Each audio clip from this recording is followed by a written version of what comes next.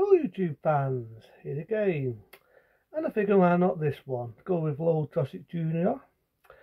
And he's a member of all the date films he's done. Why not this one? It's one a lot of people talk about. It's very hard to see on DVD. Yes, you could say it's a rip rip. We could say rip off, yeah. I meant to say you could say it's an Indiana Jones rip off, a knockoff, whatever you want to call it. But another one of my favourite actors. That being Chuck Norris in Firewalker. Firewalker's a good one. I always like the original art cover. I've seen American DVD rips, and I've got to make it look shit compared to how it looked back in the golden day of 1986, the original poster. I've got it somewhere on video. I can't remember where I've got it. I've got it somewhere on DVD, a DVD rip, because again, I had to get on this con this country. Why? I don't know why. But the original art cover is brilliant, and I think Louis Gossett Jr. and Chuck Norris as a team hit this film beautiful, beautiful. And why? Why? Why do they not make films like this anymore? I say it again. Why do they not make films like Firewalker anymore? Instead of seeing a Dan Dad Indiana Jones, I keep doing it, so why not?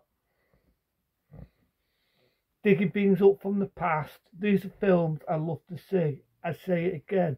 These are films I love to see. Chuck Norris, Louis Gossett Jr., and Jake Cheem.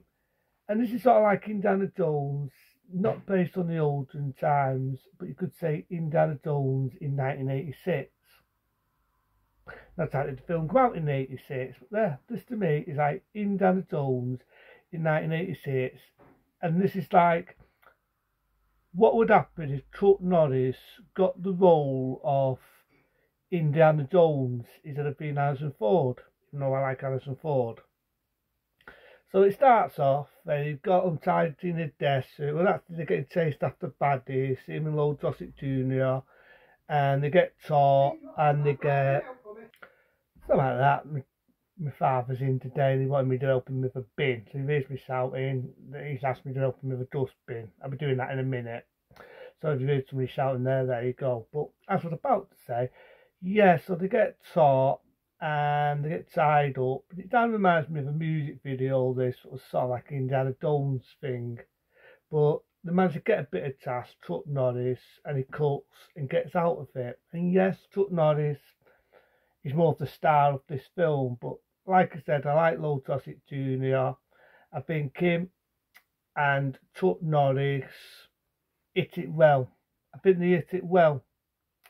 So it's a good one. This I think they make a good team in it. It's a good adventure film, a good action film. You can say this is the time when Chuck Norris was getting sick of doing his martial art films, even though there's some martial arts and some fighting in it. So basically, the film's about a knife, and they're going after this magical knife. And one of the ones that plays the villain, who can crush your head with his bare hands. He's been in a few films. He's been in a Sylvester Stallone film being locked up. And you might remember him in Predator, the one that cuts his chest and he takes on Predator and you get the idea he gets killed off steam. Sad to say the actor's no longer with us, may rest. But it's not a bad action film. Again, like most Chuck Norris films, there's a scene where they get in a fight in a bar, which is like typical of Chuck Norris. There's a where fighting and they meet this girl on the way. Pretty girl, been in a few films. You might remember her being in Flash Gordon is Alive. That's right, you might remember her being the leading girl in Flash Gordon. She's been in a few early episodes of Dias. Been in a few things, very attractive actress in that era. But yeah, you might remember her in Flash Gordon. So she teams up with Chuck Norris and Louis Gossett Jr. You do get one actor, you think you've seen him before, he's been in a Bond film, The Living Daylights. Funny enough, he was in Raiders of the Lost Ark, and I think right, he was in Indiana Jones and The Last Crusade. And um, I do remember him also being the villain in Solomon's Mines, which is not Indiana Jones films, as well as playing in this mate. And I like him in this. He plays Chuck Norris's mate. They're in a pub and they get along, but then they move on to look for the knife. And like I said, that dies fighting Chuck Norris. There's a date bit when he's in the tube. But before I, I'm going ahead of myself there. I'm going ahead. So remember that they're in the tune, these Indians, ultimately where Lou Gossett Tuna says, Who is these people? And Chuck Norris shoots them with the dawn. There's a good bit where they're going for this boiling water. And the main film about the sacrifice the girl. Chuck Norris has a date fight, kills the baddie, the baddie goes on fire, and then they walk off. The only thing with the film. The only thing with the film is it has a typical secret bait ending. So there's a bit where they're in a pub and they're drinking beer. And the main phone, if you remember that the opening, Adam tied up, he's there, he's smiling. I'm surprised at that scene, right? I'm surprised they don't have to be continued. I really am surprised they don't do that. But you got a deep bit of music at the end, it pans out, it goes do do do do do do do do do do do do do do I'm going over the place.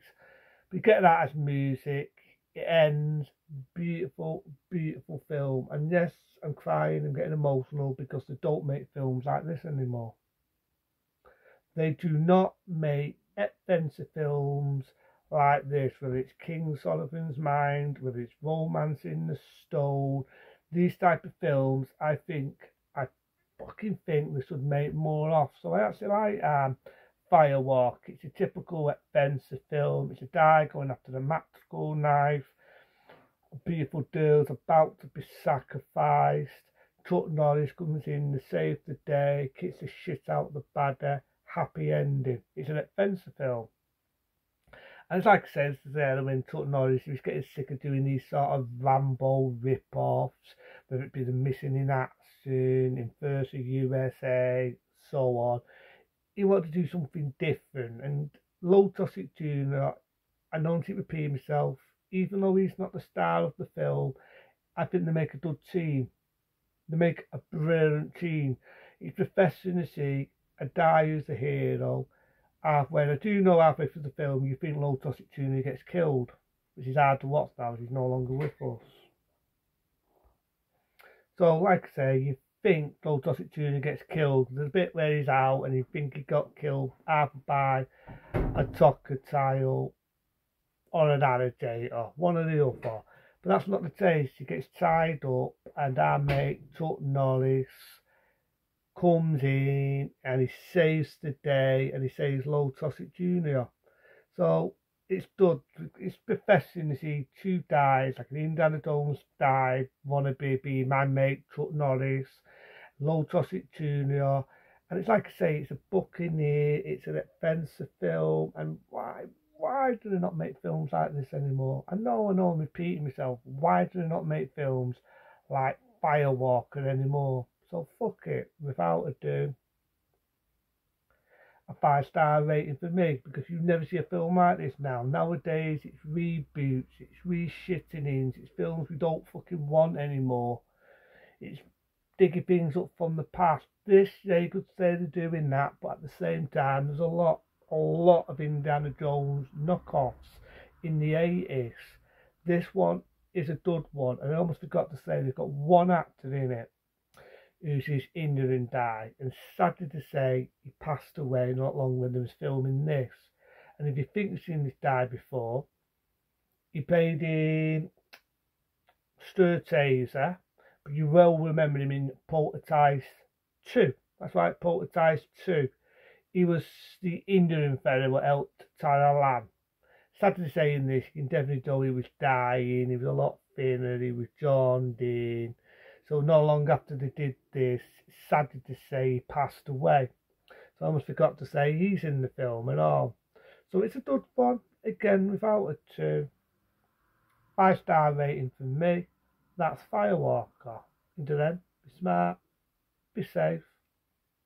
See you later.